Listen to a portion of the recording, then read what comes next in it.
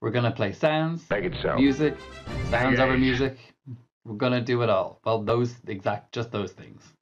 So I'm going to initialize the mixer there. And my first sound that I'm gonna play is the Star Trek Next Generation theme.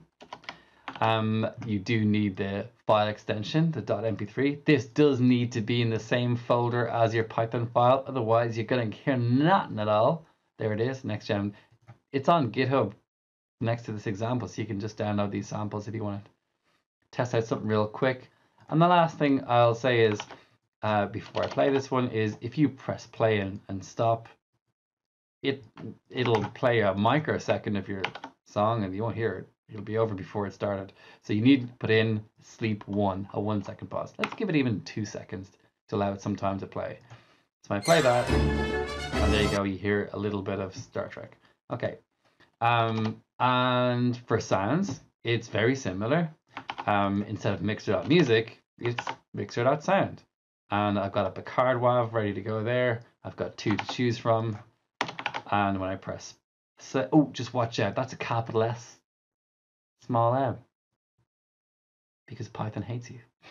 it's just trying to screw you up. Um, but there you go. I saved, I saved you the hassle. Um, so um, when you press play, Engage. there you go. And as I said, the kind of cool feature of this is unlike Winsound, if I have a, a, t- a two second thing there, and let- let's say I let the music play for two seconds here, now it'll play the music, play sound over the music, Engage. and the music will continue going on. Okay. So before you go off and try this, because you're going to get this error immediately on your very first line, um, manage packages if you're using Thonny here and actually install Pygame. It doesn't come with Python. You have to install that's like a DLC, so to speak, free DLC. Um, it's a module. So you install that, hit install. It's already installed on my machine, so I don't need to bother.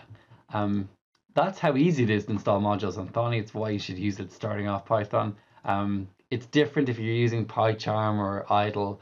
You should just Google how to install Pygame with whatever you're using because there's it's slightly different every time. But give Thonny a go, like it's grand.